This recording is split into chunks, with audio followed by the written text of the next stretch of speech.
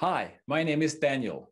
Today, I'll show you how to future-proof your encrypted database.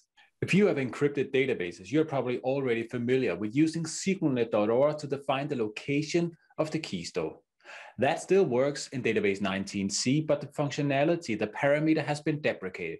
We want you to use the new parameter wallet root instead.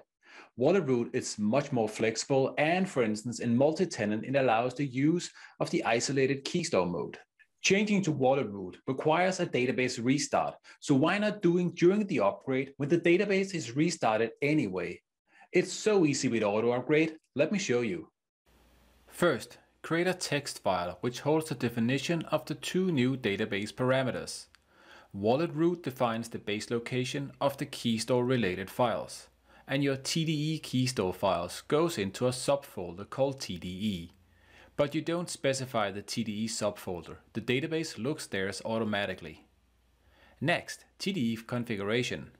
You should leave it like this. Only in advanced cases when you use Oracle Key Vault or a hardware security module should it be changed.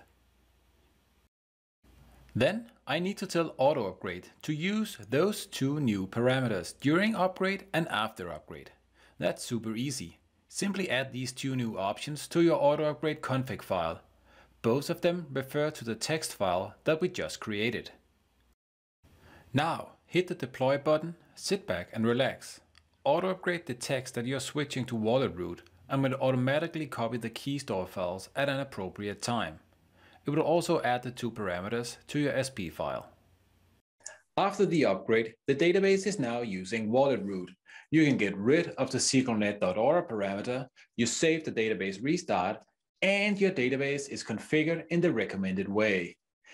Happy upgrading and enjoy Oracle Database 19c.